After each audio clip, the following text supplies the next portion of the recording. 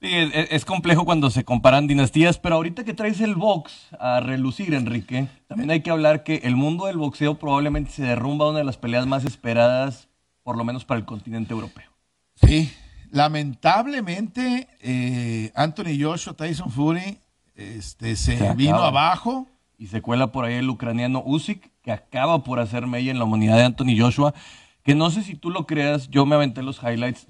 Veo que Anthony Joshua no es un tipo muy inteligente para preparar, preparar sus peleas. Le pasó con Andy, Andy Ruiz, le pasa ahora con el señor Usyk, y creo que se confía de más. Siempre acaba con un lenguaje, un discurso de, de humildad y todo esto, pero lo cierto es que se ve que le aporrearon la humanidad y hasta un ojo le cerraron. Sí, se termina con el ojo derecho muy maltratado.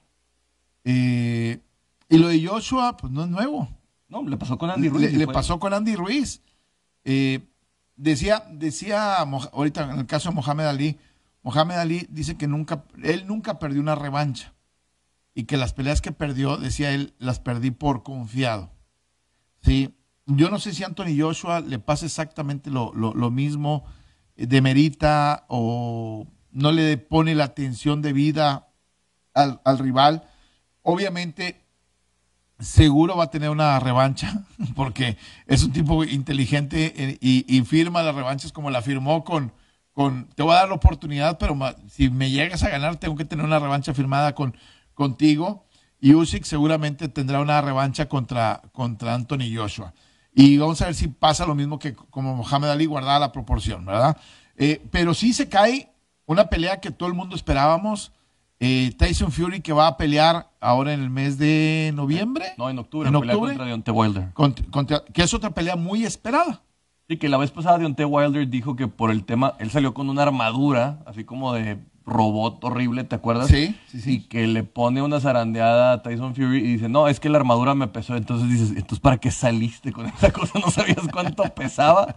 Así que esta pelea se está dando, Enrique, por un tema legal, más que nada, porque Tyson Fury había firmado la revancha para este caso y tienen que dársela por orden de un juez y, y de hecho por eso se posterga el Joshua Fury. Pero ahora se puede llegar a caer todo. Supongo que tiene, como tú mencionas, contractualmente la obligación de darle el señor Usyk la revancha a este tipo.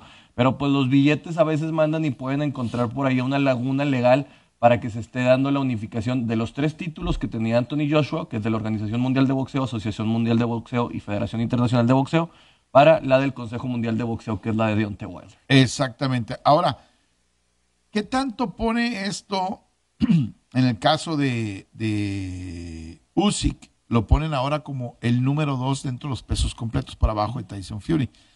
Eh, es un invicto, no deja de ser un invicto. 19. 19-0 con 13 knockouts. Eh, para muchos ahora será una pelea mucho más interesante porque pues Tyson Fury es un invicto también. Y con una resistencia de mandíbula muy, muy fuerte del Gypsy King. E- e- exactamente. Y ahora el, le voy a dar el top 10 de los peleadores es, en este momento. Ponen a uno Tyson Fury, dos obviamente a Usyk, tres a Wilder, cuatro a Joshua y cinco a Andy Ruiz. Híjole, creo que ya se van a enojar los mexicanos, pero creo que Andy Ruiz todavía está en un escalón un poquito más abajo de estos tipos. Podrá estar en el 5 numéricamente, pero jerárquicamente creo que todavía no les da para cuadrar. Pues lo que pasa es que debajo de él está Dillian White, Joe Joyce, Joseph Parker, Michael Hunter y Otto Wally. Nombres O sea, desconocidos. Nombres desconocidos. O sea, los, los primeros cinco eh, pues ya fueron todos campeones del mundo. Es. Entonces es por eso que ponen a, a- a Andy Ruiz seguramente dentro de esa pele- dentro de ese estándar. Ojalá Andy Ruiz tenga una oportunidad el día de mañana contra Usyk o contra alguno de, de- de ellos, ¿no? Las peleas más interesantes eh, es el 9 de octubre, la de, la de Tyson Fury contra Deontay Wilder, que es prácticamente lo, lo más importante que vamos a tener en el, en el mundo del boxeo en los pesos completos sobre el fin de año. Pues sí, y, y con lo de Canelo, que, que se estaría llevando en, en noviembre también. La de Canelo y acaba de firmar también para pelear, eh, ah, ¿cómo se llama este mexicano? Este supermedio que no Ryan quiere pelear. ¿Quién? ¿Ryan García? No, no, No, no. eh, que no quiere pelear Canelo con él. Ah, sí. Eh, se, me- se me fue el nombre. Eh, eh, va a pelear también en, en el mes de, de noviembre. Este, se, me- se me- se me fue el nombre. de Que, la- que- la- que la, pandemia trastoca el calendario mucho de boxeo, ¿eh? Sí, Ahora ya vamos a estar viendo peleas mucho más frecuentes de lo que estaba antes porque muchos estarán buscando eh, regresar a, a obtener el dinero que no, no pudieron obtener durante tiempos antes. sí. Y, y, y dentro de la, lo de la pelea Canelo, eh, Caleb Plant está entrenando con una camiseta que dice un Spotted Motherfucker.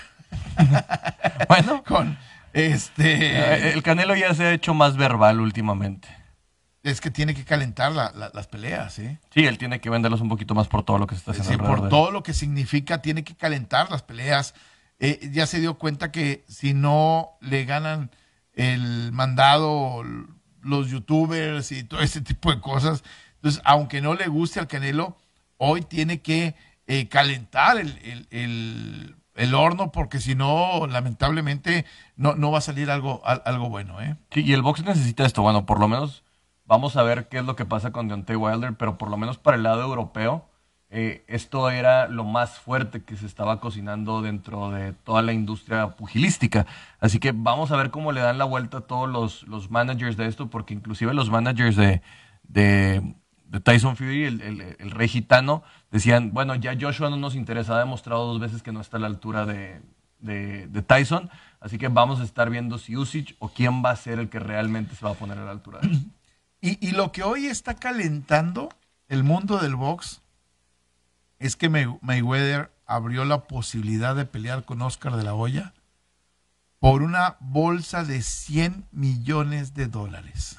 No, y que o- De La Hoya fue el que lo sacó para estar diciendo esto, que últimamente al perder a Canelo ha tenido que buscar nuevas formas de hacer dinero y pues ya prácticamente la última que le queda es la de él meterse a estas disputas de la nostalgia y pues con quién mejor con el tipo que se sabe vender más que nadie, que es Floyd Money Mayweather. ¿Tú crees que llame la atención de realmente una pelea por la nostalgia de Oscar de la Hoya? A mí no, en lo personal. Contra Mayweather. A mí en lo personal no. De- después de lo que vi y que dijo Mayweather de acabo de robar un banco peleando con un youtuber, este yo peleando contra Paul, este yo yo yo la verdad no no, no entiendo eh, el, el- hacia Son- dónde va. Son tipos que le faltan el respeto al boxeo desde mi punto de vista, que no les importa más que esta parte de, de obtener el margen y entiendo que son empresarios, pero ya cuando es tan descarado, cuan- cuando, hay tanto cinismo, cuando de plano no, no le disimulas ni tantito, ya se vuelve inclusive, eh, no, no quiero decir criminal, pero quiero decir aborrecible el tipo de actitud que tiene Floyd Mayweather al, al- al caer en estas situaciones.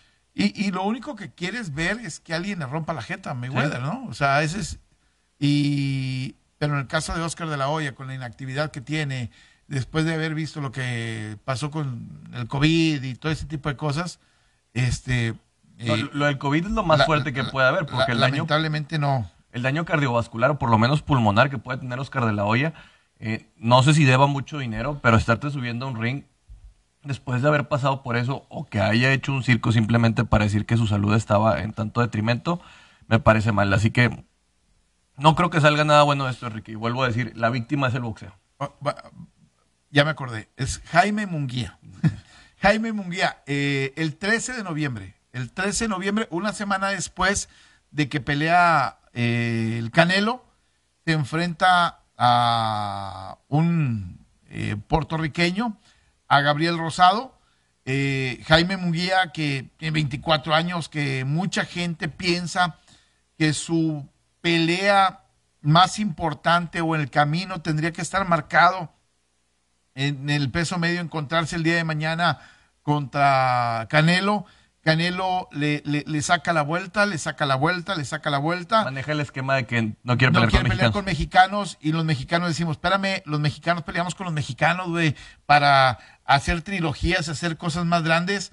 Eh, bueno, 37 peleas de Munguía que ha tenido 30 knockouts y, y que uno esperaría que obviamente Jaime Munguía el día de mañana se pudiera encontrar con, con, con el Canelo Álvarez. La aduana de Gabriel Rosado antes de Sergei Deribachenko, Sí. eh, que sería el otro que estaría buscando para tener probablemente, yo creo que en un lapso de marzo, no creo que lo vaya a llevar hasta mayo. Y ahorita los boxeadores están buscando tener peleas más próximas.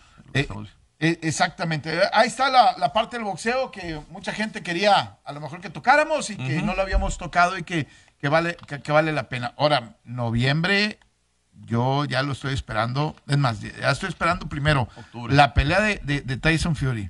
Después de lo que pasó con, con Joshua, este, no puedo descartar sorpresas.